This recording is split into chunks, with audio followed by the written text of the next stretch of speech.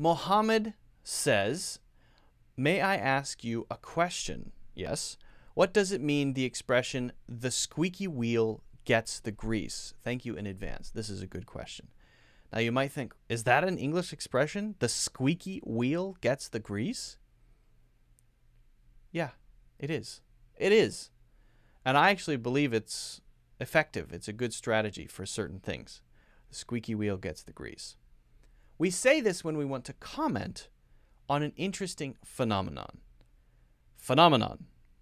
The phenomenon is those who make the most noise get the most attention. Those who cause the most drama have the most focus put on them and maybe have their issues resolved more quickly. So while we're talking about a wheel, we're really talking about something else. So why is it a wheel? Well, let's say you have four four wheels on your car. Uh, maybe car is not a good example. Let's use bicycle. Two wheels on your bicycle, because it's a bicycle. Your back wheel is squeaking, making a sound. Now, if you take your lubricant, are you going to spray it on the one that's squeaking or the one that's not squeaking? You're going to spray it on the one that's squeaking because that's where the problem is. That's the one making the noise. Why would I spray the grease or lubricant, same thing, on the one that doesn't have an issue? I'm going to spray it on the one that has the squeaky sound so that the squeaky sound, sound stops. right?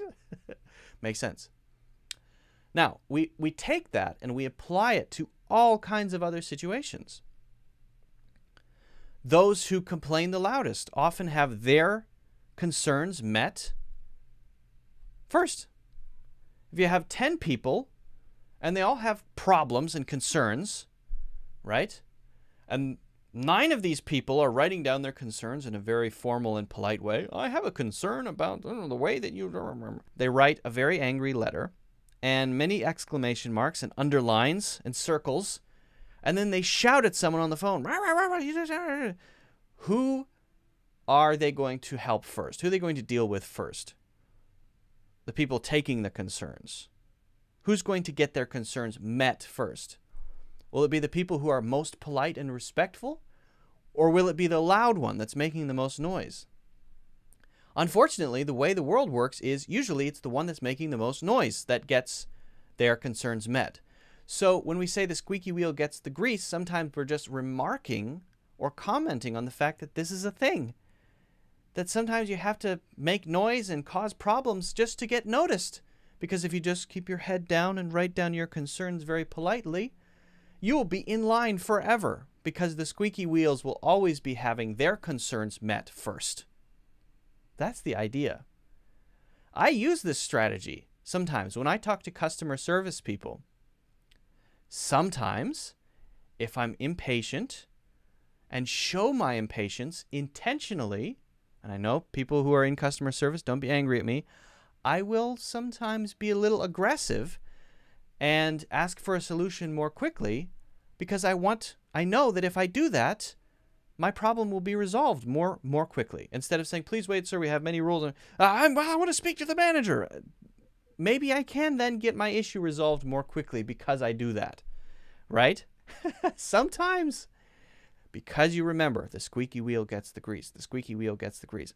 Sometimes you use that to your advantage, to be the one that causes a little chaos, to have your concern paid attention to. Now, sometimes this is used critically to point out that that's not fair.